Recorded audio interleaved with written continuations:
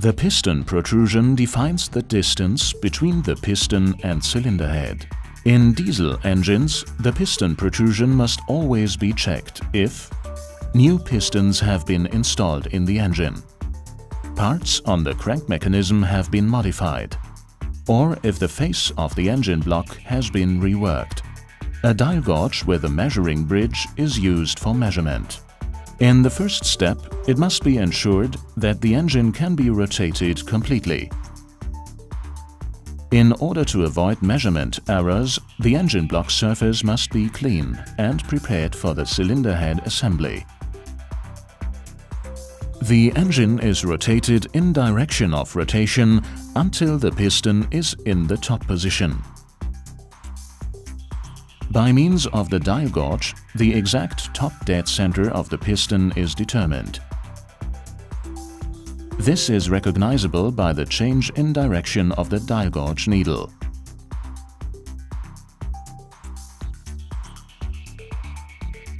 After the top dead center has been determined, the dial gauge is set on the engine block surface with initial tension and the needle of the dial gauge is set to zero.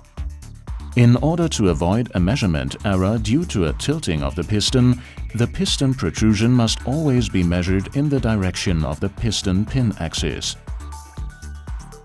The piston protrusion can then be read off the dial gauge. In order to avoid geometric errors in the crank mechanism, measurements must always be taken on both sides of the piston. Attention! The protrusions of the individual pistons may vary. For this reason, the test must be performed for each piston. The measured piston protrusions must not exceed the maximum values of the manufacturer's specifications. If the piston protrusion is too large, the piston bumps against the cylinder head once it has reached operating temperature. This results in combustion errors and damage to the crank mechanism. Excessive piston protrusions can be corrected by means of cylinder head gaskets with appropriate thickness or pistons with reduced compression height.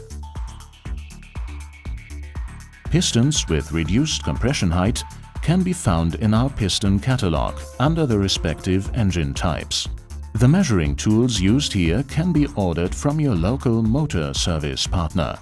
Further information is available directly from your local Motorservice partner or at www.ms-motorservice.com.